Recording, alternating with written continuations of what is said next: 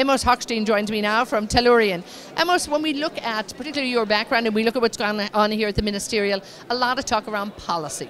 How important is energy policy? Who gets it right? Who doesn't get it right? What can governments do to get it right? Well, I think it's a policy is a critical element. You know, having worked in the U.S. administration for many years uh, under President Obama, uh, it's critical to get the policy right. Specifically, when we talk about LNG and natural gas, in order to be able to have uh, a mature market and investment, you need to have the policy climate and environment that will encourage the investment in specifically in places like India where we are today and around the world. You have to build infrastructure, you have to build expensive infrastructure, and you have to be able to have a view into the future. So the policy is extremely important to what we do as a business. Uh, and I have to say, uh, the data and understanding where we're coming from and understanding where the market is going to is critically important. Uh, using uh, accurate critical data, specifically in the gas market, where we have had JODI for the last several years really contributing to that. Uh, th these are all critical elements for us to be able to move into the future. Now, talk to me a little bit about the about America, sort of in terms of what's going on at the moment and the export capacity. We heard that many ships are coming here now to the Indian shore, coming from the U.S., particularly with gas. Um, how important is that relationship going to be? Because America is going to be exporting a lot of gas, and it looks like this region and India particularly will be a good buyer. Yeah, well, you know, we've spent a lot of time talking about the U.S.-India energy relationship. Uh, we're now moving to the action side, where we're actually doing it. And I believe that India uh, and the government here has taken critically important steps to invest in, to invest in infrastructure, change the regulatory environment, reduce the taxes, which will now allow for U.S. gas to be extremely competitive in India. So I foresee a bright future for U.S.-India, not political relationship, but energy investment relationship, where not only as consumer and, and buyer, but rather as a holistic relationship between the two countries uh, that will uh, go into the future. Talk to me about gas. Obviously, this is what you know and love, but we heard Fatih Birol from the IEA They're talking about turning China's skies blue again. And, you know, the fact that gas is seen as the fuel of the future, a clean fuel, um, I mean, how important is gas now to actually fuel future growth? Well, a number of points. Number one, I think that we are all missing the real statistics about where gas is going.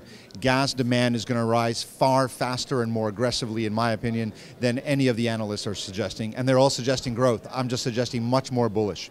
China is growing at unbelievable speed because of the policy environment uh, that they have created, turning the skies blue. But the skies need to be blue everywhere, not just in China. And people here in India, it was the governor of uh, the state minister here in India who referred to Delhi as a gas chamber just a few months ago because of the poor air quality gas is going to be the fuel of the future alongside renewables in order to be able to look at it not only as a business investment commodity, but as a mechanism to clean the air for people to be able to breathe, the very basics.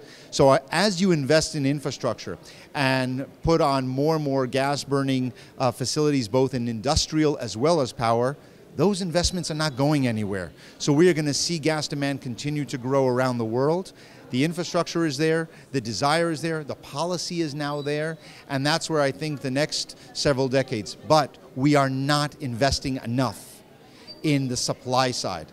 So after 2020, we are going to have extreme shortages of gas coming our way that are going to hit specifically in uh, the developing world and in economies that are now putting that infrastructure in place. If you can get ahead of the curve, now is the time to do that. Well, I think that's a message we're hearing at this ministerial here that investment is a huge concern and a huge concern for, for all oil and gas, which is the current fuel. And we really have to keep the lights on right now as well. What can be done, do you think, apart from creating awareness right now? But I mean, there has to be a big push to bring that investment back. But the climate of uncertainty that's around, I guess, scares investors away. Well, I think we're in the business side. We have to look at numbers. And you know, conferences such as this at the IEF are extremely important. We have to have the dialogue between the business community. And I have to say, I've been coming to the IEF as a government person for many, many years. Uh, and this is my first visit to IEF uh, ministerial as a private sector. And I have to say, this is my hats off to Dr. Sun and to uh, the Indian government for uh, probably the most effective IEF I have, I have ever been to. Uh, and part of that is because the dialogue cannot be government to government.